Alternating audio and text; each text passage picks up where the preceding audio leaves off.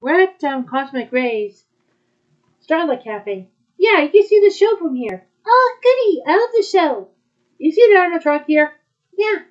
This is what the robot used to be. Oh, yeah, that's right. It's a robot, huh? It's a robot. It looks like a made of alien. Oh, alien, huh?